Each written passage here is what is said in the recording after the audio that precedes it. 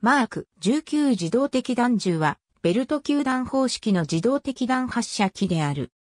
開発されたのは、ベトナム戦争中の1966年で、最初の試作モデルであるマーク19モッド0は、信頼性の低い危険なものであったが、続いて試作された6機のマーク19モッド1は、1972年のメコン川のアメリカ海軍の哨戒艦艇でのテスト運用で成功を収めた。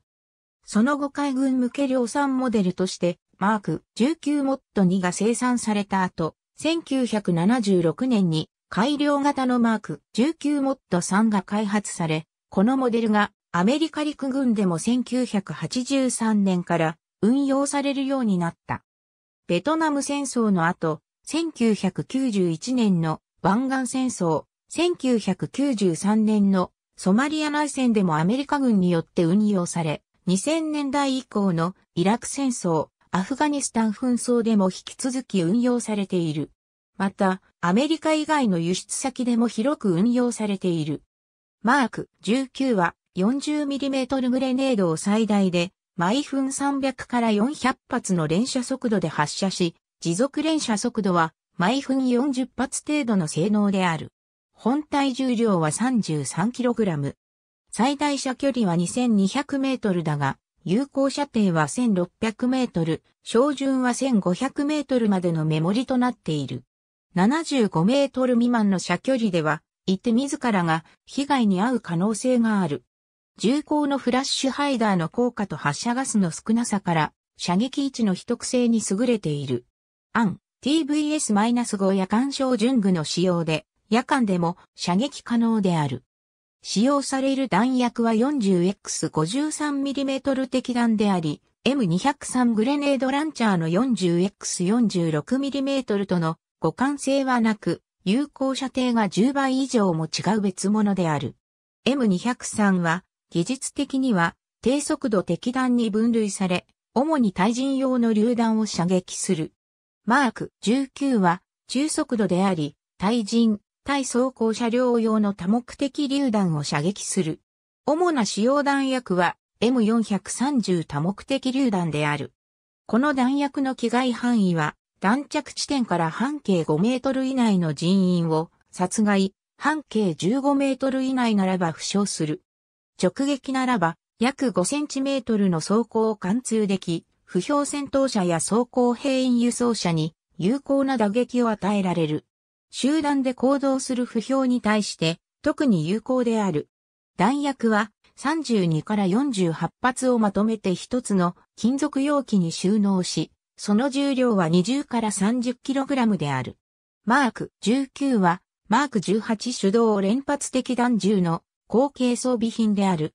作動原理は、ブローバックオープンボルト方式で、コッキングレバーを引き下げると、ボルトが交代位置で固定され、同時に最初の弾薬がボルトの前方へ導かれる。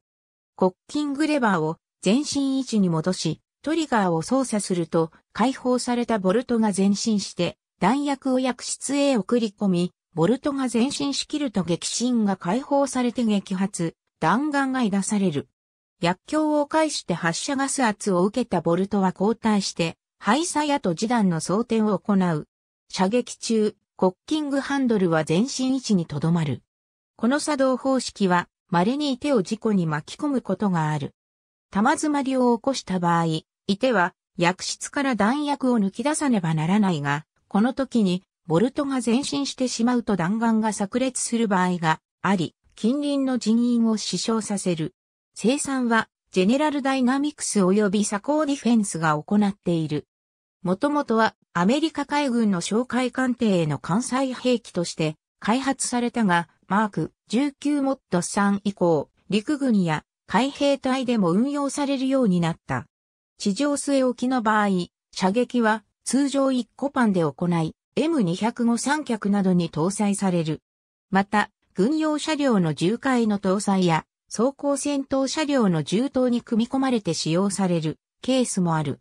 多くの場合、M20 機関銃と選択的に使用可能である。通常、三脚に乗せて使用される。分解して兵士が運搬することが可能となっている。海軍の哨戒艦艇のほか、エンラッペ、ハン B、M151、MTVR、アイホブなどの装甲車両や非装甲車両に搭載される。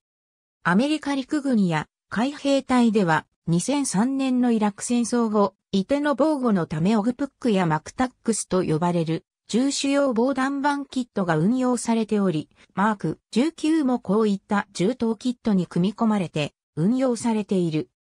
アメリカ陸軍の M1117 ガーディアン、ASV やアメリカ海兵隊のアブ7に搭載されているキャデラックゲージ社製の銃刀には M20 機関銃とマーク19が同軸に配置され、いずれも銃刀内からの射撃が可能となっている。アメリカ陸軍のストライカー装甲車には、ノルウェーのコングスベルグディフェンスエアロスペース社の開発した M151 プロテクター RWS が標準装備されており、M20 機関銃とマーク19を選択して搭載可能である。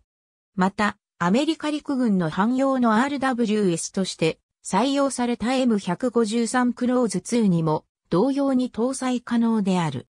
ジェネラルダイナミクスによれば、総計約3万5千兆のマーク19モッド3が製造され、1984年から海外への輸出が始まり、世界に約30カ国のユーザーがいるとされる。ありがとうございます。